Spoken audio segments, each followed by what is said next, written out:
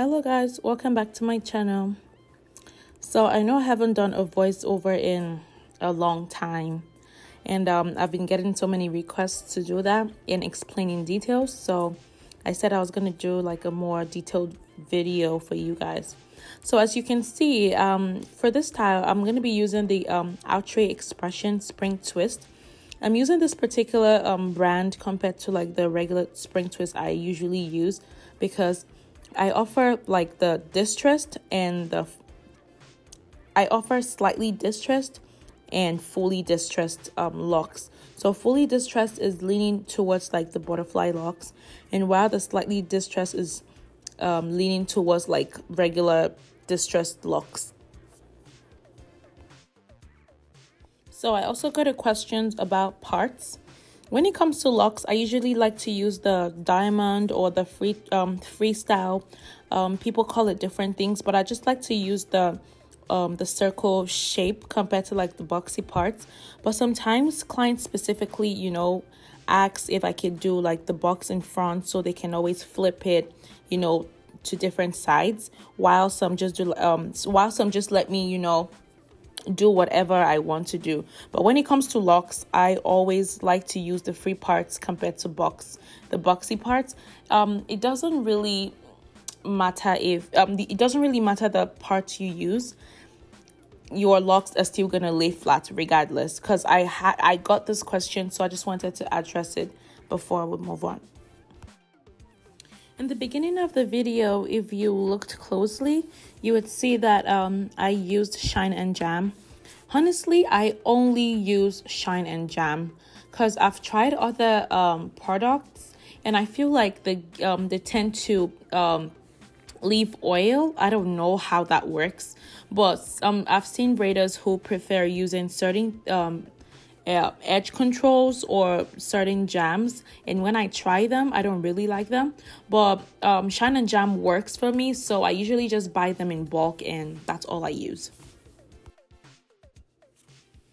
So before i continue if you're new to my channel welcome. My name is jessica. I'm a braider in california and um, if you're an old subscriber, thank you for always coming back. Thank you for supporting me.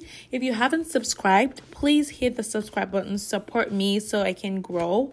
And also like, share, comment, let me know, you know, what you like to see, any feedback you have for me, and I truly appreciate it.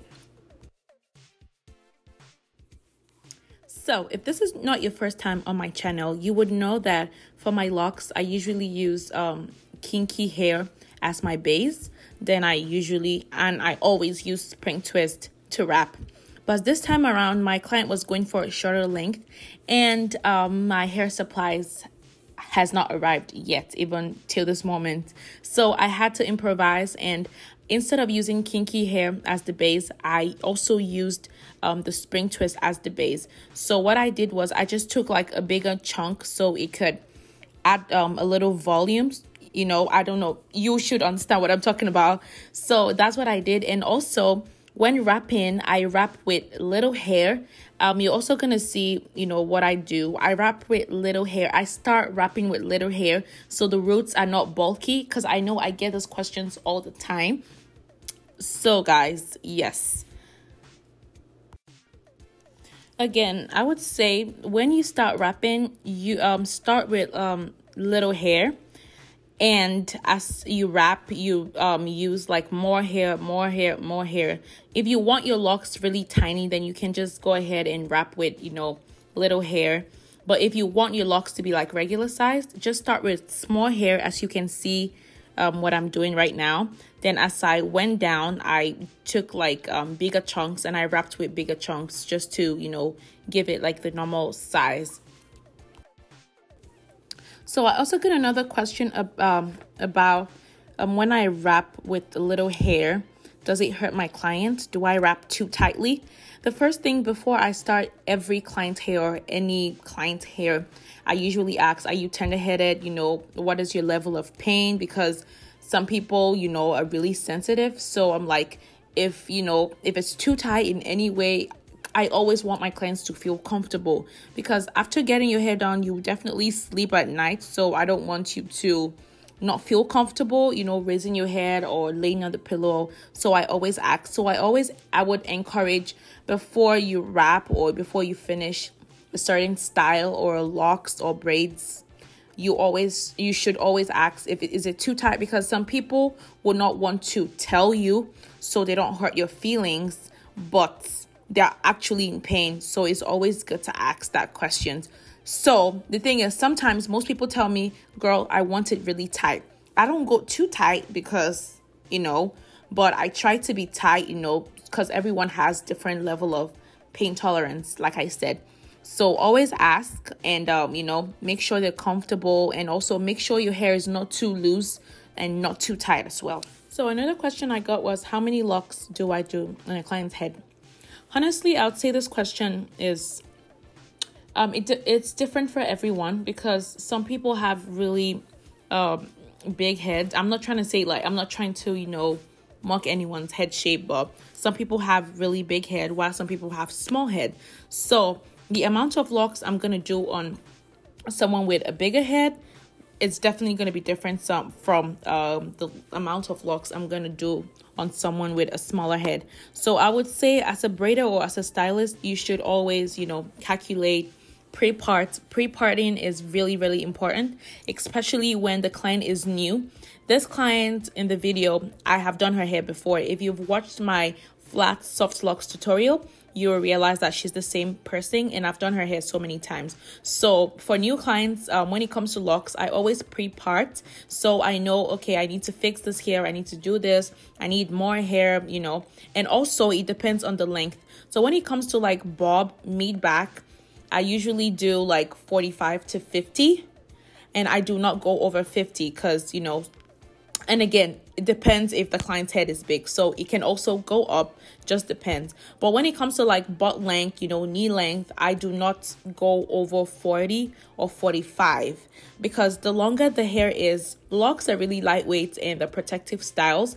But when they're too heavy, it becomes too heavy um sorry when they're too much it becomes too heavy so you just need to know how many locs to do and pre-parting also helps you know yeah.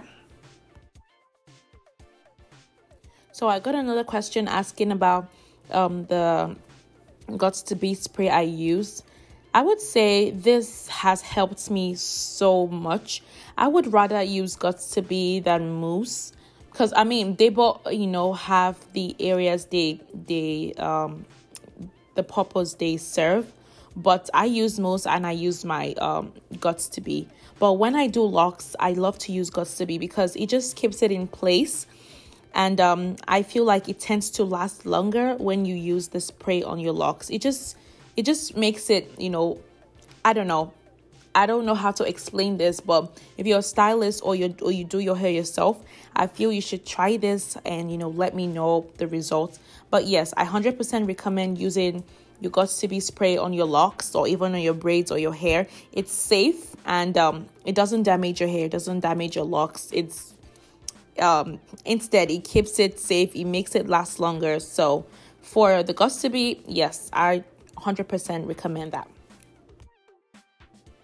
Another question I got is Do you braid the little hair in front of your client's head? Um, it depends. Um, some some clients come with like head full of hair, like almost getting to their brows. While some people, you know, have hair loss and bald spots.